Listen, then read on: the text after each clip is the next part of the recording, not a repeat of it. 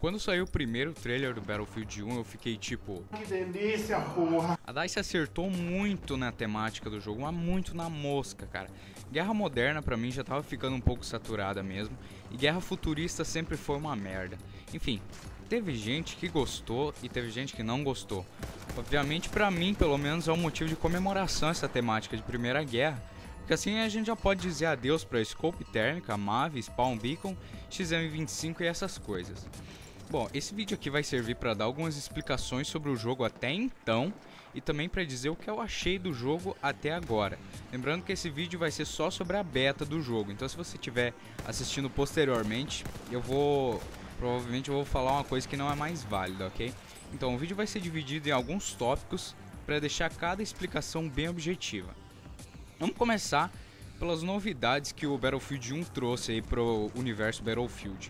Em primeiro lugar, eu queria mencionar que muita gente brochou quando viu que a temática ia ser Primeira Guerra, provavelmente porque acharam que naquela época só existia mosquete e pedrada. Mas porra nenhuma, cara. Nem mesmo eu sabia, mas naquela época já existia muita tecnologia, cara. Incluindo armas automáticas, tanques leves e pesados, scopes, armaduras pesadas, bombas com detonadores remotos e uma caralhada de outras coisas. Para vocês que não sabem, eu vou dar uma explicação muito breve do que foi a Primeira Guerra Mundial. Ela ocorreu na Europa entre 1914 e 1918 e teve a participação de vários países que se dividiram em duas alianças: a Tríplice Entente, onde estavam o Reino Unido, a França e o Império Russo, e a Tríplice Aliança, onde estavam a Itália, a Áustria-Hungria e o Império Alemão. A guerra teve várias causas, as quais incluem políticas imperialistas de grandes potências da Europa, o assassinato do arquiduque Francisco Fernando de Áustria em Sarajevo, na Bósnia que resultou num ultimato Habsburgo contra o Reino da Sérvia, entre outras causas. Nela lutaram mais de 70 milhões de soldados, os quais mais de 10 milhões foram mortos e mais de 20 milhões ficaram feridos, inclusive cerca de 8 milhões de cavalos, mais de 8 milhões, aliás, morreram em combate. Além do mais, esses cavalos eles sofreram com a falta de comida, pois a maior parte da aveia na época vinha dos Estados Unidos, que cortou a exportação por conta dos altos custos. E era um trauma emocional muito grande para os soldados da guerra verem os animais indefesos morrendo por inanição e cansaço. Foi uma guerra muito feia, foi o sexto combate mais mortal da história. Se você quiser saber mais, eu sugiro que você dê uma boa pesquisada, pesquise bastante sobre a tecnologia na, prim na Primeira Guerra, que Cara, vale muito a pena a leitura, é muito interessante. Agora sobre o jogo, muita coisa mudou em relação ao Battlefield 3 e o Battlefield 4. Mas a mais óbvia quando você entra lá no menu do jogo para jogar são as classes. Agora nós temos a classe de assalto, médico, suporte e scout.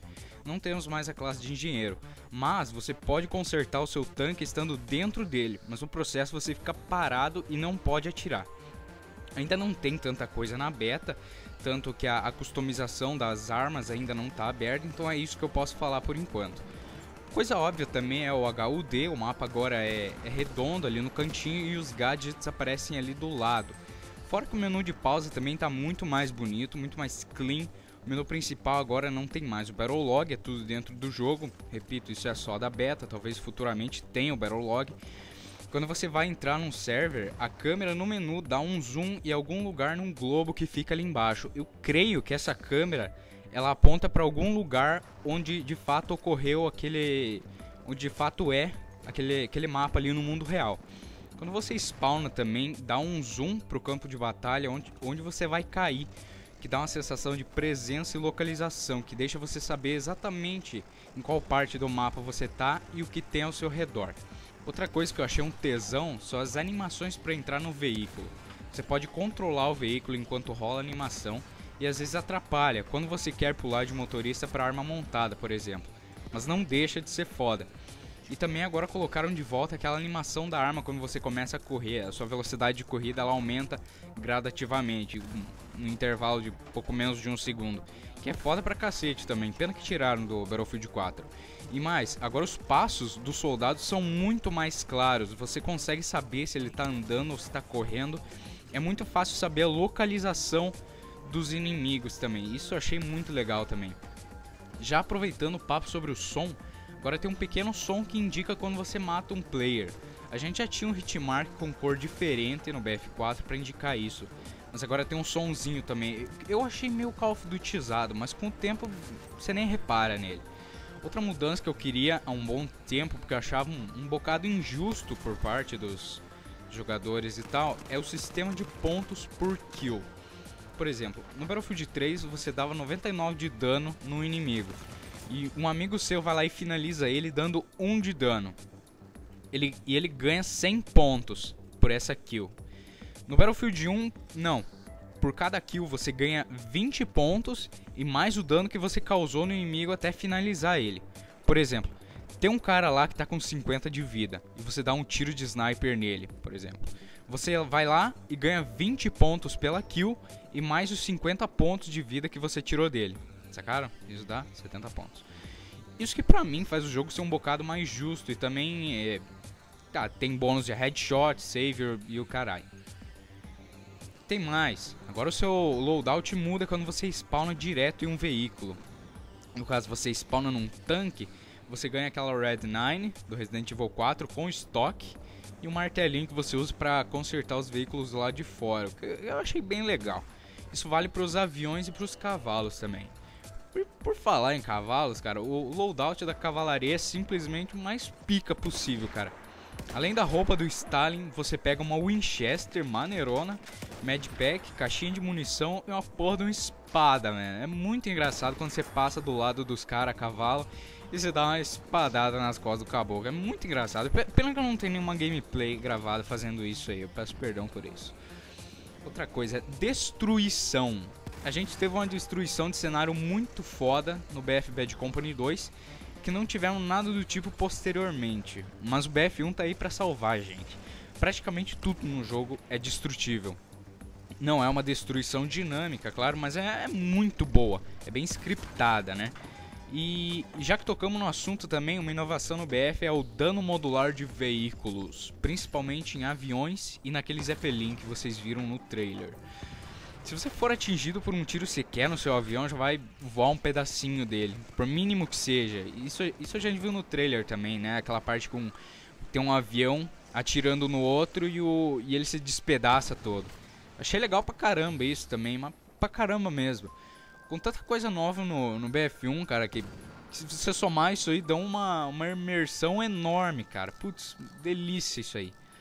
Agora os veículos. Se tem uma coisa que me fez rir de alegria quando eu percebi, foi o spawn direto nos veículos. Se tem um tanque disponível, você pode escolher qual tipo de tanque você quer pegar. Isso vale pro Mark V, pro tanque leve e pro tanque pesado, que é o que a gente tem na beta até agora. O mesmo serve para os aviões, que se adequa mais ao tipo de jogador, já que a gente tem diferenças bem distintas entre os tanques e entre os aviões. Mas nessa parte vamos por partes. A começar pela parte que eu mais gosto, que são os tanques. Só tenho a dizer que tá bem equilibrado. Tem gente que diz que o tanque é bem overpower, né? Até agora tem três tipos de tanque. Tem o Mark V, que eu mencionei anteriormente, que é um muito bonito aquele tanque.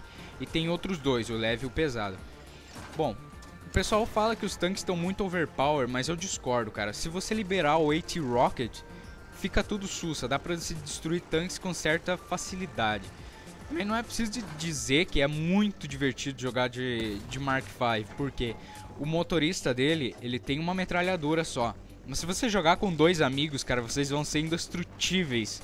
Porque você, quando você é motorista, você pode controlar uma metralhadora que tem na frente e uma que tem atrás. E dos lados tem dois canhões, cara. É muito legal jogar com ele, com pelo menos dois amigos. Cara, muita coisa mudou nesse jogo, isso é certo, mas pra passar por cima de um, de um camper com um tanque é, é engraçado pra caralho, velho. É sem preço. E ainda nós temos os aviões. E olha, até eu que nunca curti jogar de avião, achei muito bom jogar com eles. Questão de combate ar-terra é meio nerfado, é ruim você matar os caras lá embaixo mas é muito legal jogar de combate ar-ar contra outros aviões. Ainda mais com amigos, já que os aviões têm uma metralhadora na traseira e os bombers têm na frente e atrás. Além dos cavalos, também temos veículos de blindagem leve com uma metralhadora e um carona, bem simples, mas eficazes se usados da forma certa. Dá para fazer carro-bomba, sim, Mas as duas dinamites que você tem não dá pra destruir um tanque não. Isso, isso tá bem nerfado também. As classes, como eu mencionei anteriormente, nós não podemos falar de veículos se não falarmos das classes, ora bolas. Como já mencionado anteriormente, elas são assalto, médico, suporte e scout. A classe de assalto, você não tem mais medkits, né? Nela você usa SMGs e você tem controle sobre explosivos também, que é até o Battlefield 4 era pertencente à classe de suporte, né? A classe de médico, por sua vez, tem o kit médico e seringas para reviver soldados mortos. Nessa classe você também usa carabinas semiautomáticas no estilo M14, que eu curti muito, cara. Eu sempre fui muito fã de, de coisa semiautomática, cara. Muito fã mesmo. A de suporte, como sempre, usa metralhadora leve, tem a caixinha de munição e pode usar explosivos também. A Scout é a classe de sniper, por sinal tá muito bom jogar de sniper. Primeiro por causa dessa scope com dual render, que já devia ter sido colocado no BF3 em diante, mas ok. Outra coisa que as, as snipers estão bem overpower também, cara. Tá bem fácil jogar com ela. Eu acho que vão nerfar logo isso aí quando lançarem o jogo. Infelizmente não foi adicionada customização de armas na beta, como eu já disse anteriormente, mas é, tô bem ansioso para ver as surpresas que teremos no jogo completo. Claro, não podemos esquecer que temos os bons e nem tão velhos Battle Pickups, que são armas que você pega pelo, pelo mapa as que eu vi até agora são uma metralhadora pesada que, que você só pode mirar quando você estiver deitado ou apoiado. Tem uma, uma Browning, eu, eu acredito que seja uma Browning anti-tanque, que é o demônio, cara, mano. Mata qualquer um com um tiro só e a distâncias bem longas. Mas para atirar com ela você tem que ou estar tá apoiado ou tem que estar tá deitado. Bom, e o que, que eu posso concluir sobre o Battlefield 1? Bom, pro meu gosto pessoal, eu que sempre fui muito fã de jogos de guerra antiga, eu cresci jogando Medal of Honor. Eu posso dizer que a temática do jogo até então tá 10 de 10. A única coisa que não tá 10 de 10 é o preço mesmo. Se você não, não viu o preço ainda, cara, melhor nem ver. Uh, por enquanto, assim, a beta me divertiu muito, cara, muito mesmo. Eu tô jogando meio direto aqui.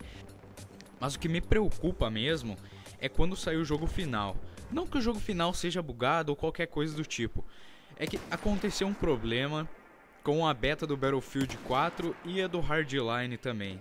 Na beta a, aberta ali, que tem os servidores oficiais da EA, cara, foi tudo maravilhoso. O jogo era bom, os players eram legais, dava para jogar tranquilo.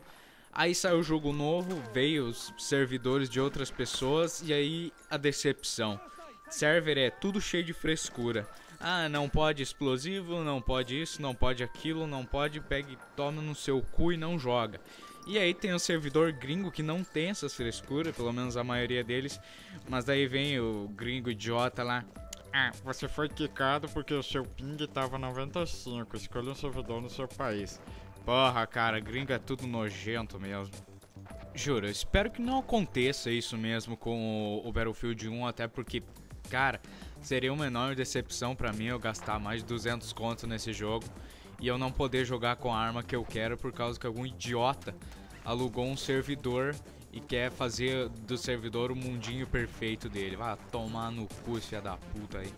Mas revoltas à parte, o que eu disse até agora é nada mais que a minha opinião sobre o jogo, é o que eu observei no jogo Claro, tem mais coisas que não foram mencionadas aqui, como por exemplo que eu lembrei agora, a trilha sonora ela tá muito mais presente no gameplay, ok? Mas eu sugiro que você não, não, não se deixe levar pela minha opinião, pegue baixe a beta, ainda é dia 6, pegue baixe por mais esses dois dias aí, jogue bastante, tire suas, suas próprias conclusões, se você gostar do, do jogo, cara, vá lá e compre se você quiser, né? Porque eu não vou comprar tão cedo. E essa foi a minha análise da beta do Battlefield 1. Eu espero que vocês tenham gostado. Se você gostou, deixe seu comentário aí. Se você não gostou, paciência, né? E antes que me perguntem, sim, assim que eu comprar o Battlefield 1, vai sair Gunsync do Battlefield 1. Se eu quiser. Tchau!